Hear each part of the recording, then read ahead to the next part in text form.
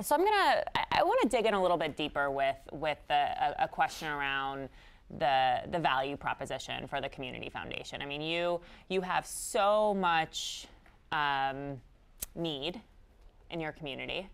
Um, you know, whether it's housing, um, uh, homelessness, um, you know, adult literacy, um, whatever it is, and um, and and there's there's a real importance to to be able to focus and um, your, your, work, um, and and then also there's just that you need to make the case for your board or your CEO um, about this work. So so I'd just like to tease out a little bit um, how how you went about um, making the case for this type of work, um, you know, that, that fits into strategic work at, at your foundation. So I'm looking at you, Chris. So I want to start with you because you're, you're, you're thinking this through. I literally just went through, you know, all the paperwork that, that you're, you're thinking this through around the equity piece. Right. And, and so your, your foundation is committed to equity mm-hmm. um, in Boulder County. But why, why does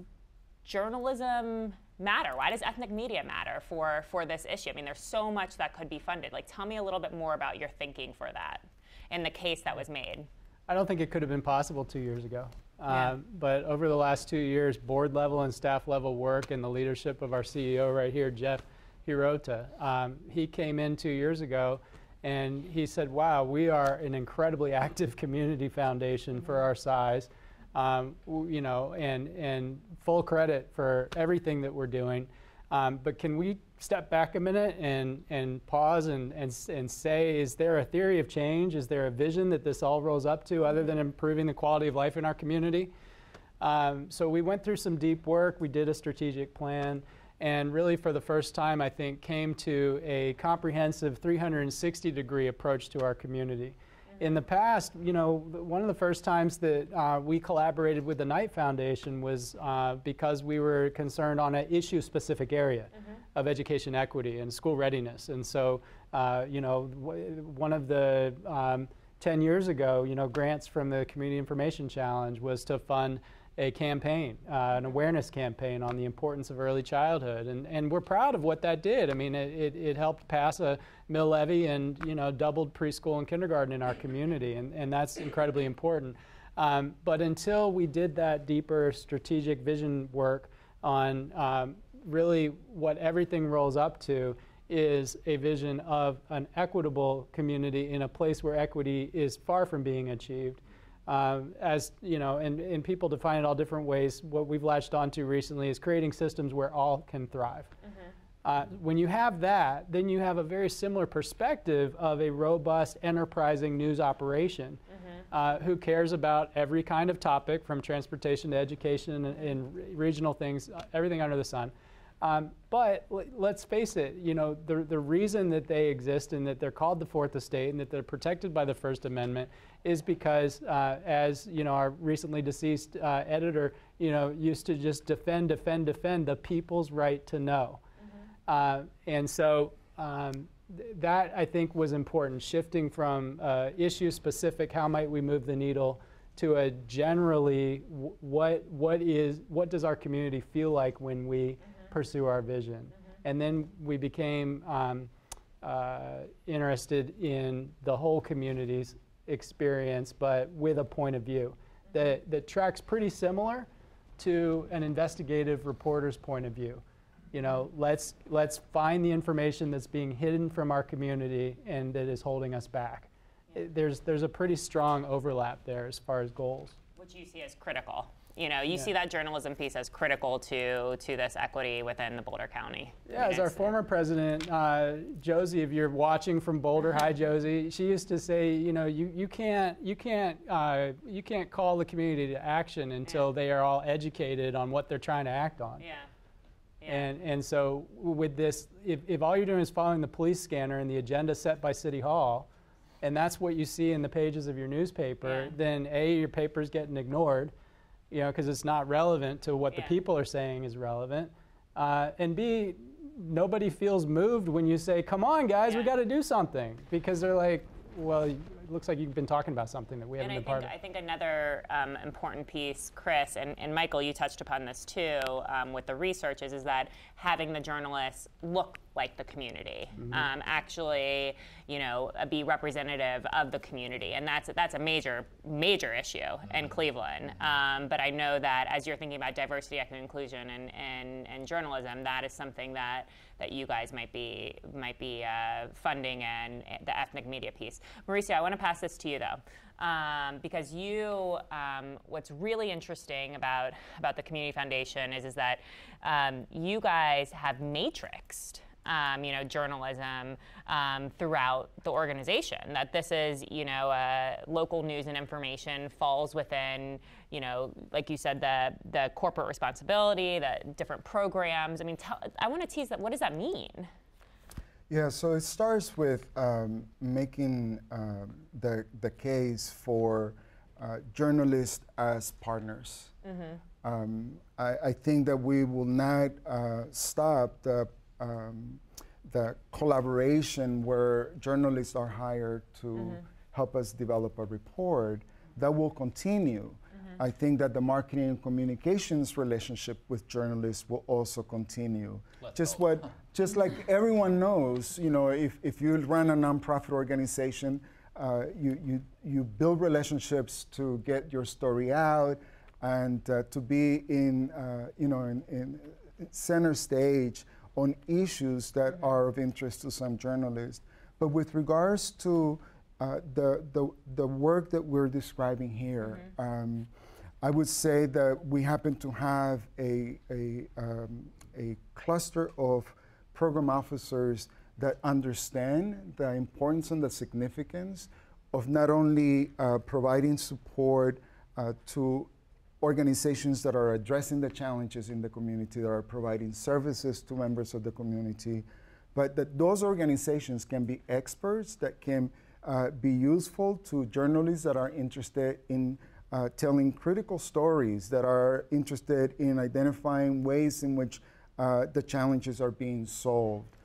Um, the other part has been the ongoing back and forth learning process with John. Um, I believe he's uh, like a sensei. Uh, and, and I believe that the work that we've been doing has been like that of a dojo, where we're continuously practicing different katas, different ways of getting this work done, and we haven't figured it out completely. Um, but one of the back and forth that we have had um, is um, do, do we call journalists in the meeting um, to tell them about our strategic plan with a desire to um, inspire them to write stories about the strategic plan? Or do we invite journalists to a meeting to have conversations about how uh, they can um, advance some of the uh, solutions that members of our network are, are generating? Uh, so, I, and, and another example is uh, can we partner with journalists to elevate maybe issues that the Community Foundation identifies to be critical, not only to the institution, but like to the community at large? And um, we have a, a, a, space called the Center for Early Learning, uh, was responsible for uh, bringing um, uh, the, all the candidates for the gubernatorial race in California last year. And uh, the way that we saw uh, um, an opportunity here was to co sponsor with um, uh, journalistic institutions uh, a televised and well documented uh, gubernatorial debate, sponsored by the Community Foundation in collaboration uh, with uh, some major media uh, networks, was uh, a shift that we had not experienced before. And again, it allowed us to um, play uh, the role of bringing people together to figure out ways of utilizing their uh, tools uh, to advance uh, solutions. In this particular case, what we were interested in was to make sure that um, the candidates would elevate the significance of early learning throughout the state um, by becoming committed to uh, advancing uh, solutions in uh, the early learning space without necessarily having the community foundation um, being the one that's pushing this mm-hmm. continuously, but building a partnership three ways with the candidates, with journalists, and with uh, nonprofit organizations mm-hmm. in our community. We were successful in not only organizing the debate, but in continuing the process, this partnership with um, the players that were critical in this uh, debate beyond uh, the, the uh, elections. So uh, right now, uh, there are folks that are coming together. The governor is looking at the possibility of uh, collaborating with philanthropy around this space. Oh, wow. And, you know, all of that comes from just kind of reimagining. You have all the players already uh, together, but how do we go about doing our work? Um, it's, it's part of, of what we are exploring yeah. to, together. Yeah, yeah, yeah. What I, what I, keep, what, I'm, what I keep on hearing um, at this conference and, and, and from, from actually the, the three of you is, is, is this idea around engagement journalism. I mean, it's really, it's, it's, journalism um, and, and that community is at the core of it um, and, and that that's a really critical piece i have a question for you michael um, so, so let's, let's talk about how um, you um, and your team um, made the case for, for doing research at, your, at your foundation like wh- why, right. why was that in, important to start there? Yeah, I think it came at a really fortunate time for us because we had just begun our strategic planning process. As an organization. And so part of that work was doing a perception study with Gallup mm-hmm. about how people view the community foundation. Mm-hmm. And um, so that was information need at its core. Mm. But I think as community foundations, we often rely on our nonprofit partners to tell us what the community needs versus removing that layer and going out to the community directly and asking them what they need. Or we have the as community foundations, we often say these are the priorities of the community. Here we want everybody to focus on these areas. Well, what if we could remove that layer and actually ask the community what information needs, what are the issues that are most critical? So, to frame this research as an opportunity to enhance our overall vision for the enterprise by saying, at, at the core, we started this movement 105 years ago to enhance the lives of greater Clevelanders. Let's go back to that. Let's go back to that idea of what are the needs for the people who live in our community and put information needs. For us, local journalism is part of the solution of addressing information needs. It's pitching it to our board as lifting up newsrooms is not going to cut it. Pitching it to our board as addressing core information needs of our residents, that's going to go so much farther in the yeah. conversation. So it was reframing in our mind, thanks to all the inspiration for these two and people I met at this conference, just to think of it differently. Yeah. Yep, I think yeah. that's that's really really smart.